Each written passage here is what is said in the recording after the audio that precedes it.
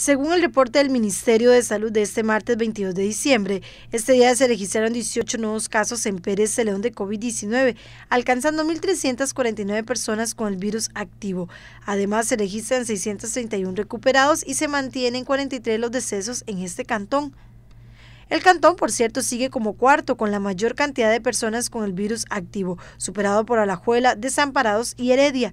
En el caso de los otros cantones de la zona sur, Corredores sumó 26 casos más hoy, llegando a 572 activos, 1.255 recuperados y lamentablemente 15 fallecidos. Por su parte, Golfito sumó 34 más para llegar a 451 activos, 579 recuperados y 4 fallecidos. Buenos Aires contabilizó uno más, tiene 365 activos, 284 recuperados y 24 fallecidos.